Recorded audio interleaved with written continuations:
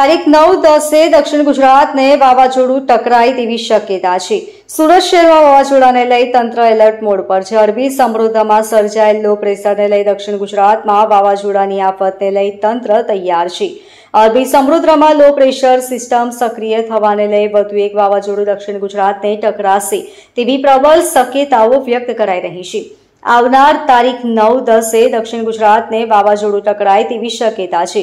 જેને લઈ ડિઝાસ્ટર તંત્ર એલર્ટ પર મુકાઈ ગયું છે. સુરત જિલ્લાના દરિયાઈ કાંઠા વિસ્તારમાં આવેલા બેતાલીસ ગામોને એલર્ટ કરી દેવાયા છે.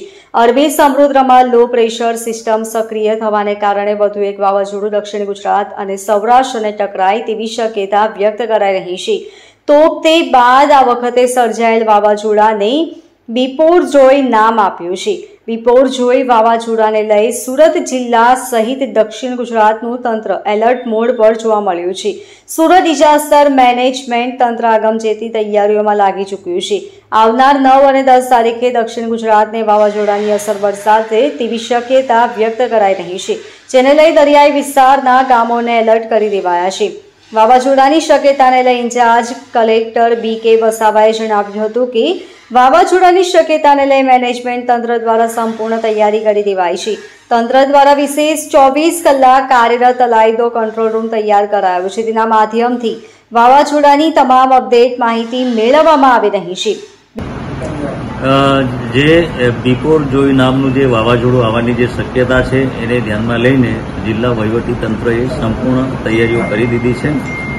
કંટ્રોલ રૂમ સતત ચોવીસે કલાક ચાલુ છે. એમાં વાવાઝોડાની સંદર્ભમાં અમે હાલમાં જે દરિયા માછીમારો દરિયામાં ન જાય એના માટે તેઓને સૂચનાઓ આપી દીધી છે.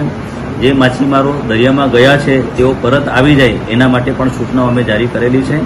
સુરત જિલ્લાની વાત કરું તો આમાં જે દક્ષિણ ગુજરાતમાં નવ અને દસ તારીખ સુધીમાં વાવાઝોડું અહીંયા પહોંચવાની શક્યતાઓ જણાવી છે. એને ધ્યાનમાં રાખીને અમે જે અમારા સુરત જિલ્લાના જે ત્રણ તાલુકાના, આમાં મજુરા, ચોર્યાસી અને ઓલપાડ તાલુકાના જે બેતાલીસ ગામો છે, એ બેતાલીસ ગામોને, ગામો પર અમે સતત નજર રાખી રહ્યા છે.